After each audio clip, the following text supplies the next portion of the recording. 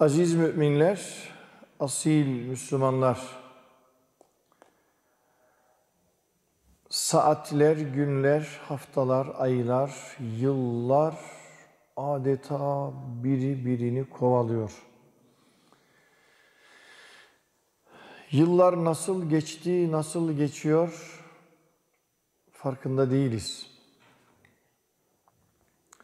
Her gün biraz daha ölüme yaklaştığımızı zaman zaman hatırlıyoruz.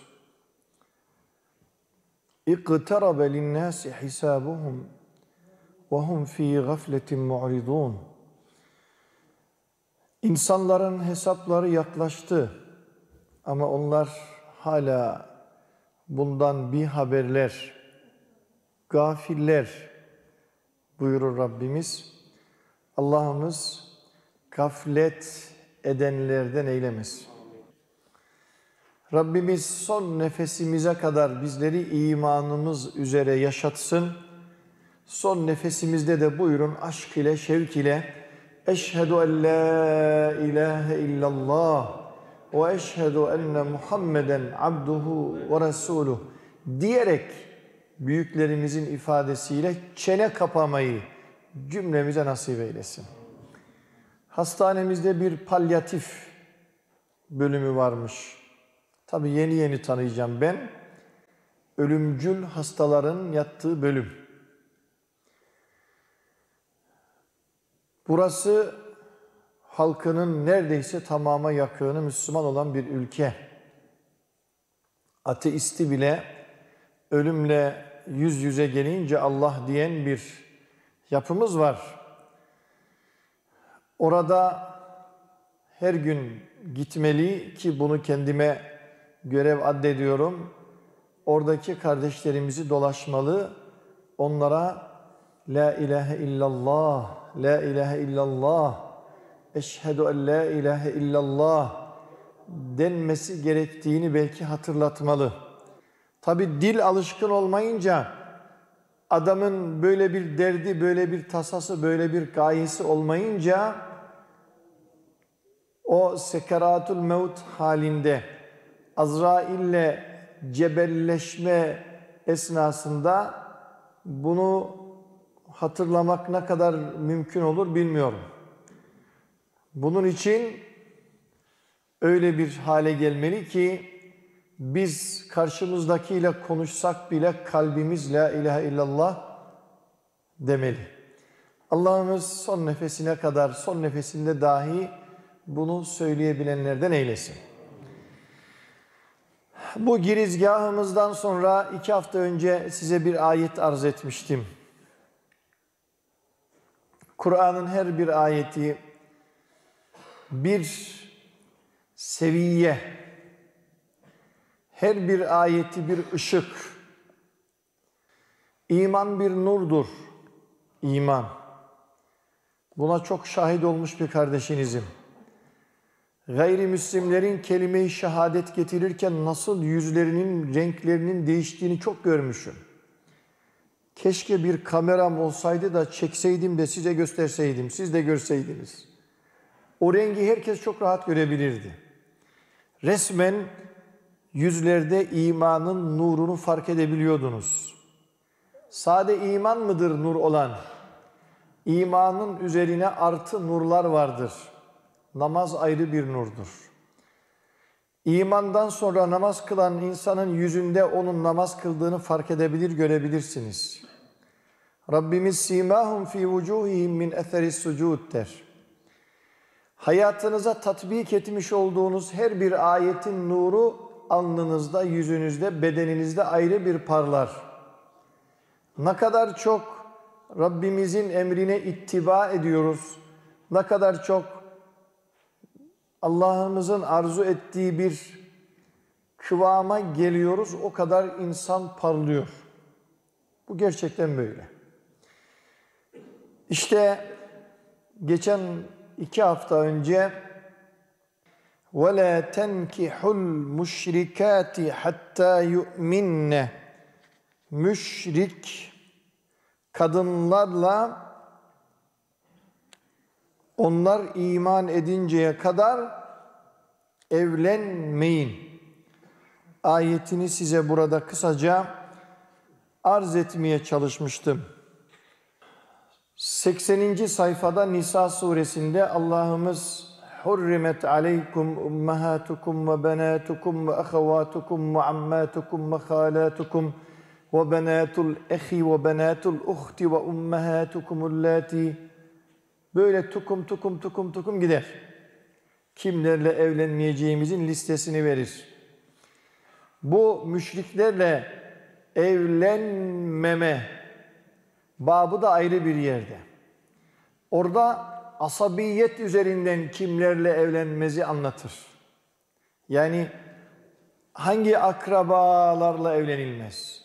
Oranın listesini verirken velev ki akrabanız da olmasa eğer mümin değilse, eğer müşrikse, eğer dinsizse o kimseyle evlenilmez. Müslüman kadın da evlenemez, Müslüman erkek de evlenemez. Deist olduğunu söyleyen bir kimseyle yine evlenilmez. Tabi Kur'an'da size deistle evlenilmez diye bir ayet yok bulamazsınız. Ama deist Allah'ın varlığını kabul eden ancak peygambermiş, kitapmış, Kur'anmış bunlar beni ırgalamaz diyen aklı sıra yeterince delil olmadığı için bunları kabul etmeyen bugünkü kafanın adıdır. Onlarla da evlenilmez. Sonra mümin bir hanımefendi, Müslüman bir kadın, Hristiyan bir adamla, Yahudi bir adamla, Müslüman olmayan, inancı ne olursa olsun, dünya görüşü ne olursa olsun, Müslüman olmayan bir adamla mümine bir hanımefendi evlenemez. Yani 2022 yılında artık dini kuralların hiçe sayıldığı, ne yazık ki küfrün altın devrini yaşadığı, azgınlığın saltanatını sürdüğü bir dönemde yaşıyoruz. Dün çıkmış kafire bir kadın ne zırvalıyor? Biz 1400-1500 yıl öncesine dönmek istemiyoruz. Biz de 1600 yıl öncesine dönmek istemiyoruz. Sizin savunduğunuz küfür anlayışı İslam'dan daha eskidir. Daha zifiri karanlıktır. Bugün adına modernite dediğiniz, bugün ilericilik diye savunduğunuz o çağ dışı zihniyetiniz İslam'dan da eskidir. Biz de o sizin zifiri cehaletinize dönmek istemiyoruz. Her fırsatta küfürlerini ilan ediyorlar. Her imkanda garazlarını, kinlerini, nefretlerini Müslümanlara kusuyorlar. Allah bunlara fırsat vermesin. Bir de Müslümanlar şaşırır da bunlara bir imkan verirse eyvah. Kendi ipimizi kendimiz çekmişiz demektir. Allah korusun. Dolayısıyla şerefli müminler Rabbimiz kurallarını koymuştur. Yıl kaç olursa olsun Müslüman Rabbimizin koyduğu bu sınırları aşamaz. Bak Allah'ımız kimlerle evleneceğimizi, evlenemeyeceğimizi bize bildirmiştir. Müslümanlar içerisinden gayrimüslimlerle evlenenleri duyuyorum. Bir zamanlar bir kızımız Helmut Kohl, o günkü Almanya'nın başbakanının oğluyla evlenmişti. Gazeteler iftihar tablosu olarak sunuyorlardı o manzarayı. Alman damatmış kafir bir adamla şayet o kız Müslümansa ne yapamaz? Evlenemez. Böyle bir şey yok. Günümüzde de reportaj yapıyorlar gençlerle. Soruyorlar kızları hem de tesettürlü görüntüde. Yani cehalet nerelere çıkmış? Yavrularımız, çocuklarımız kendilerine elzem olan İslami bilgilerle donatılmadıkları için her istediğimi yapabilirim zannediyor. Ve günümüzde insanların ağzına alıp gevelediği, en çok zikrettiği kelime hürriyet, özgürlük sonuna kadar nereye kadar? Müslüman bir insan için bu cümle geçerli değildir. Müslüman insan Allah'ın dur dediği yerde durmasını bilen adamdır. Benim sınırlarım buraya kadardır diye bilen adamdır Müslüman. Cennet hayır Allah bana buradan ileri geçmeme izin vermemiştir diye bilenler için hazırlanmıştır. Dünyada her istediğini pervasızca yapma hakkını kendinde, pervasızlığını kendinde görenler için değildir. Onun için şerefli müminler çocuklara soruyorlar. Gayrimüslimle evlenir misin? On çocuğa soruyorlar, dokuz tanesi evet evlenirim diyor. Fesubhanallah. Herhalde bunları bilmiyorlar. Ha şunu da biliyorum. Müslüman olduğu halde o kadar zalim, o kadar gattar, o kadar kendisinden artık yıldırmış, kadını o kadar bıktırmış sözde Müslümanlar var ki onları görerek bari diyor iyi gavur bizim bu kötü Müslümandan iyidir. Bu mantıkla öyle bir yanlışa yöneliyorlar. Burada biz Müslümanların da eksi hatası çok. Erkeklerimiz de Allah'ımızın istediği formatta bir kaliteyi yakalayabilselerdi herhalde gayrimüslimler bile bizlerle Müslümanlarla evlenmek için sıraya girmek isterlerdi. Ama hem Müslüman olduğunu söyleyeceksin, hem namaz kılacaksın, hem de evlendiğin kadını burnundan getireceksin. Bu vallahi Müslümanca bir iş değil. Billahi Müslümanca bir tavır değil. Ancak ben tekrar konuma dönmüş olayım. Müslüman bir erkeğin ateist, dinsiz bir kadınla evlenmesi haramdır. Bu kadar net. Pekala Budist olsa caiz mi? Şamanist olsa caiz mi? Zerdüşt olsa evlenebilir mi? Yine evlenemez. Ehli kitap olma şartı vardır.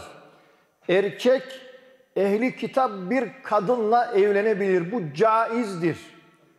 Ancak biz o erkeklere de şunu tavsiye ediyoruz. Ya iki milyar İslam dünyasında Müslüman kadının köküne kıran mı girdi de gidiyorsun ille gavurla evleneceğim diye uğraşıyorsun. O da ayrı bir garabe.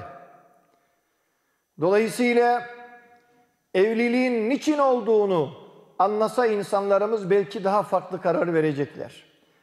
Ancak Müslüman hanımlar Hristiyan da olsa, Yahudi de olsa, ehli kitap da olsa bu erkeklerle asla ve kat'a evlenemezler. Sebep?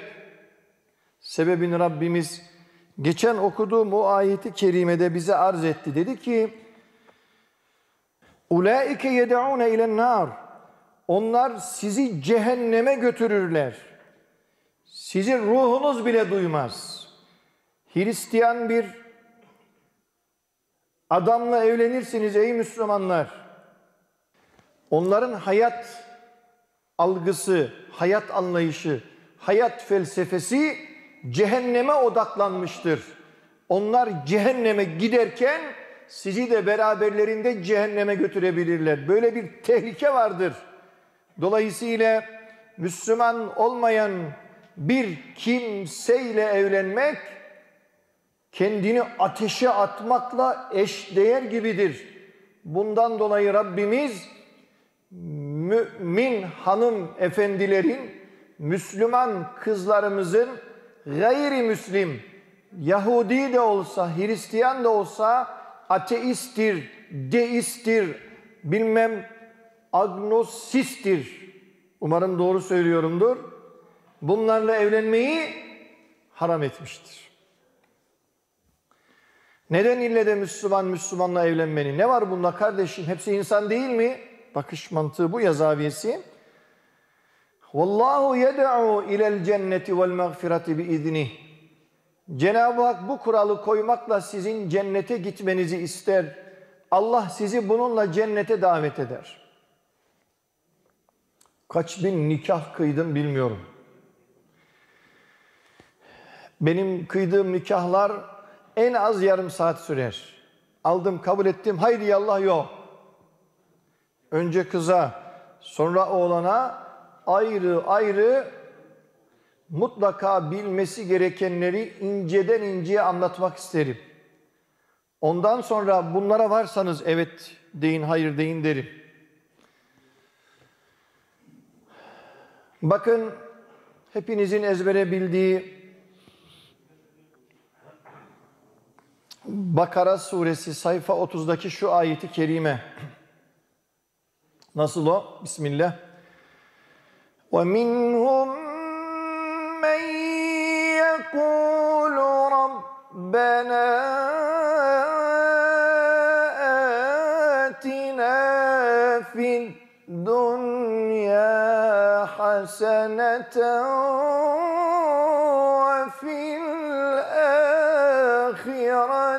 حَسَنَةً وقنا عذاب النار Hepiniz bildiniz değil mi bu ayeti? Namazlarda okuyoruz. Türkçesi neyi? Bu ayetin bir öncesi daha var da bağlantılı. Feminen nas. Benim yarattığım insanlar içerisinden öyleleri vardır ki. Men yekul. Onlar şöyle derler şöyle diyor gibi hayat yaşarlar. Nedir o? Rabbena atina fid dunya. Ya Rabbi bize dünyada ver derler. Onların işi, gücü dünyada bir şeyler elde etmektir. Makam elde edecek, para elde edecek, servet kazanacak, ev alacak, araba alacak. Tabi bunlar haram değil. Ama onlar için hiçbir kural geçerli değildir. Mühim olan bunlara ulaşsın. Benim böyle kullarım var diyor Rabbimiz. Çünkü bunları ben yarattım. Bilirim bunların arzu, isteklerini, hırslarını. Devamı ilginç. Böyle düşünenler için وَمَا لَهُ فِي الْآخِرَةِ مِنْ خَلَاقٍ Belki yalanla, dolanla, yanlış yollarla, haram helal demeden bir takım gayri meşru yollarla dünya servetini elde edebilir bunlar.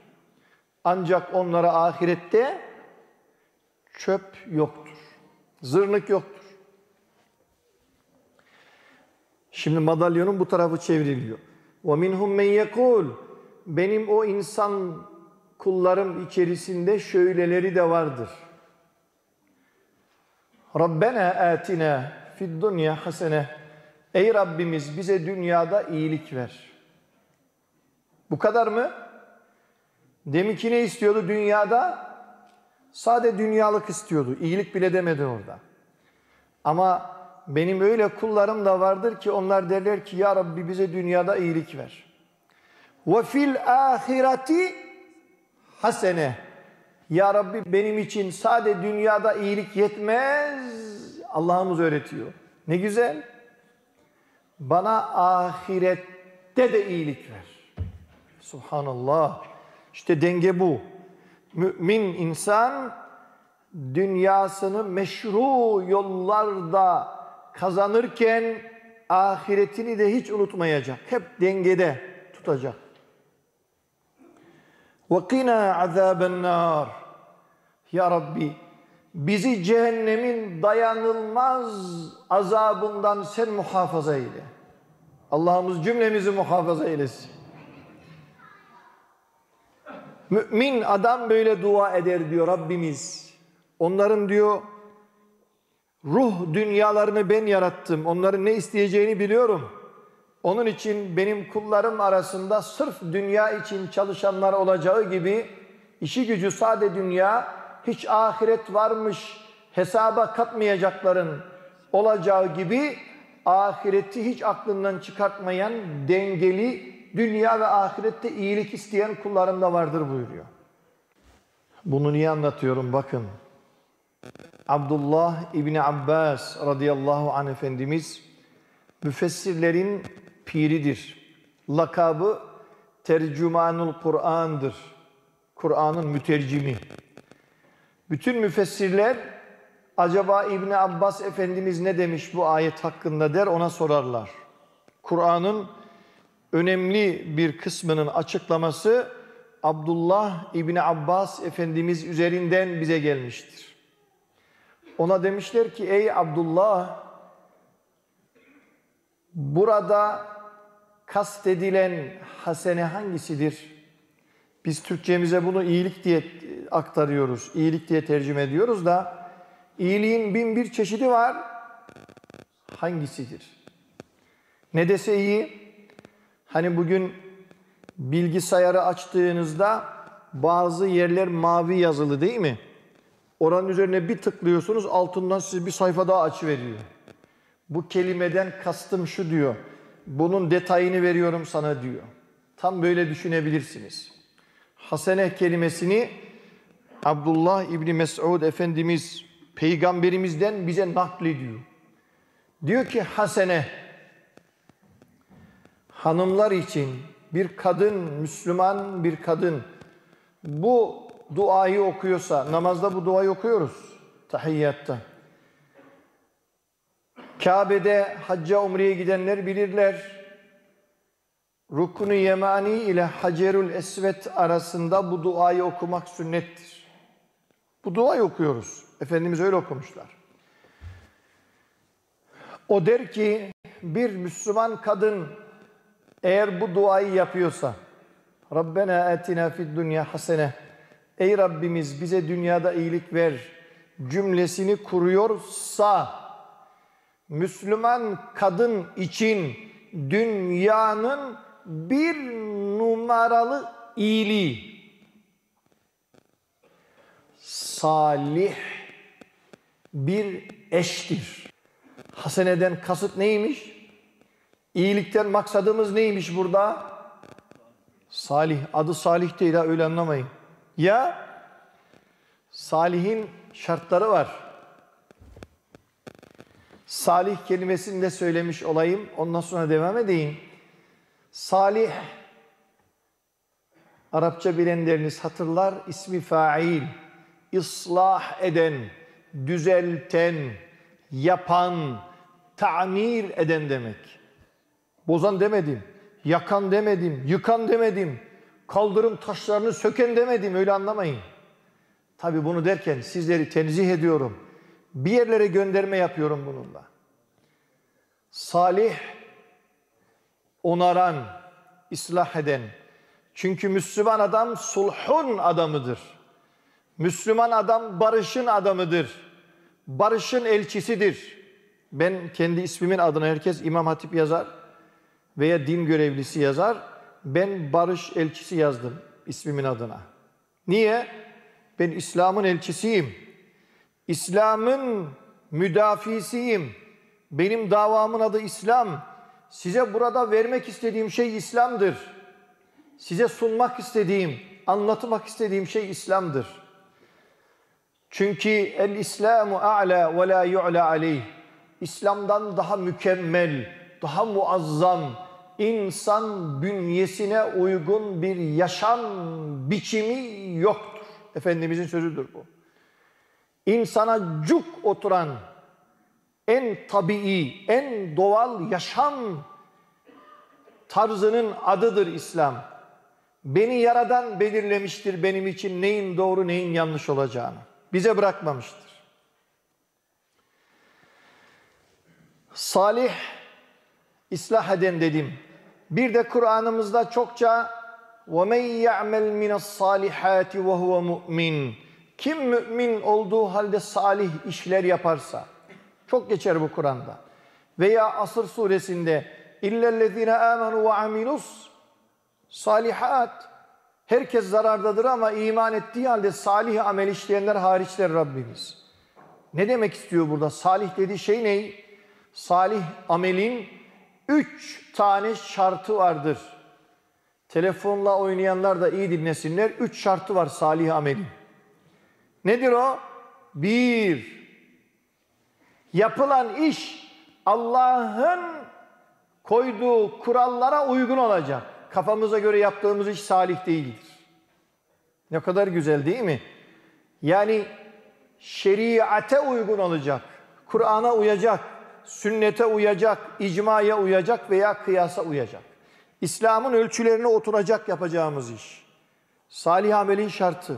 İki, yapılan iş sadece ve sadece Allah'ın rızasına yönelik olacak.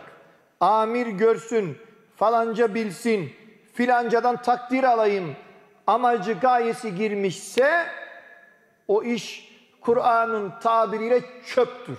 Habitat a'maluhum der. Yani boşa gitti. Çöp oldu. Onun için Müslüman insan bütün eylemlerinde bir tane hedef gözetmeli. O da bunu yaptığım takdirde Allah'ım benden razı olur mu? İki, üçüncüsü ne? Üçüncüsü yaptığı işte ihlas olacak, samimi olacak, zoraki, ite kaka olmayacak. İşte bu salih amel. Tekrar salih yaşa geri dönüyorum. Bir kadın için dünyanın bir numaralı iyiliği salih bir eşmiş. Salih eşin tarifini yapıyorum şimdi. Kimdir bu salih eş? Bir, bu izahımla size Müslümanın hedefine göre, amacına göre evlenmenin amacı, gayesi nedir onu anlatmak istiyorum. Müslüman niye evlenmeli? Yani evliliğin mantığı ne? Ayet üzerinden oraya iktibasla söylemeye çalışıyorum. Müslümana göre evliliğin mantığı niye kendimize falanca kızı seçiyoruz? Niye o kızla evleneyim istiyoruz? Sebep ne? Çok güzel dediysen yanıldın ve yamuldun. Parası çok dediysen yine yanıldın. Soyu sopu var dediysen yine bitti. Peygamberimiz sen mütedeyyin olanına bak diyor. Güzelliği bir müddet sonra gidebilir. Zenginliği fakirleşebilir. Soyu sopu bir iş yapar. Dünyanın en rezil insan haline gelebilir. Allah korusun. Ama siz ahlakına, dinine bakar, o özelliğine göre seçerseniz o hiçbir zaman değişmez, ölmez buyurur. Salih adamın tarifi mümin olan, iki mutlaka namaz kılan, üç içkisi, kumarı, gece ayakları olmayan, dört eli maşalı olmayan, hanımını cenneti kazanması noktasında destekleyen kişi salih eştir. Erkeğin hanımına yapacağı amenna, çalışacak, para kazanacak, eve bakacak, yedirecek, giydirecek, içirecek hepsi tamam. Asıl amaç ne? Asıl amaç bu kadın cenneti kazansın. Bizim dünyadaki bir kadınla veya bir erkekle ömür boyu yürümek isteyişimizin amacı bu. Bizim yürüyüşümüz cennete olan yürüyüş. Sadece dünyada işte balolara gittik, dans ettik, oynadık, tatiller yaptık. E ne oldu yani? Bilmem deniz kenarlarına gittik ne oldu ki? Ne kazandık Allah'ınızı severseniz? Ya onun için böyle bir salih bir eş seçme arzumuzdaki hikmet bu adam beni cennete götüren bir adam olsun. Amenna dünyada yine mutlu olalım. Güzel bir hayat yaşayalım. Haram değil. Ama asıl amaç bu adam cennete yürüyen bir adam olsun. Ben de ona refakatçilik edeyim. Bu adam beni cennete götürsün. İşte bu. Rabbena atina fid dunya haseneh bu. Ya Rabbi bize dünyada iyilik ver. Eğer bir delikanlı, bir mümin insan bu ayeti okuyorsa, bu duayı yapıyorsa İbn Abbas Efendimiz demiş ki erkeğin haseneden maksadı kafasındaki hedefi bu ayette anlatılmak istenen şey saliha bir hanımefendi. Adı saliha değil yine. Ya bir mümine bir kadın, müşrik bir kadınla böyle bir hayat yürüyemezsiniz. Dinsiz bir kadınla bunu yapamazsınız. Başka emelleri olan bir kadınla bunu gerçekleştiremezsiniz. Onun için Allah inancı olan, peygamberine sevdalı, ahireti, cenneti kazanma gibi bir hedefi olan bir hanımefendi. Namazında, abdestinde dedikodusu olmayan, altını çiziyorum, kocasını haramdan koruyabilen kadın. Erkek için de aynı şey geçerli. Hanımını haramdan koruyacak. Rabbimiz libasul lekum ve entum libasul lehunne. Hanımlar sizin için örtüdür. Siz de hanımlarınız için örtüsünüz. Nasıl ki soğuktan korunmak için örtünüyorsak, edep yerlerimizi utanmamak için örtüyorsak, evlilik pek çok ayıbımızı kapatacaktır. Ben 17 yaşımda evlendim. 100 defa dünyaya gelsem 100 defa 17 evleneceğim derim. Millet kendi kafasına göre hayaller kuruyor. İşte ev alacağım, araba alacağım, iş alacağım, bu alacağım. E olmuş yaş 35. Hiçbir kız onu beğenmiyor. Bu sefer de o kızları beğenmiyor. Dengi olduğunda, bulunduğunda, zamanı geldiğinde çok uzatmadan evlenilmeli.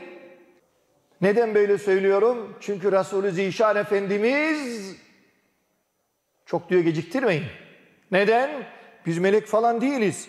Hacının kızı, hocanın kızı melek değil ki kim olursa olsun. Herkesin ayağı kayabilir. Onun için yavrularımızı haramdan koruma anlamında erken evlilik bu anlamda hayati öneme sahip. Evet, saliha bir hanımefendi dedikodusu olmayan, kocasını namaza kaldıran, onu yanlışlardan uzak tutmaya gayret eden hanımefendi. Yani kocasını ahirete giderken dünya yolculuğunda onu cennete sürükleyen, götüren bir kadındır demiş.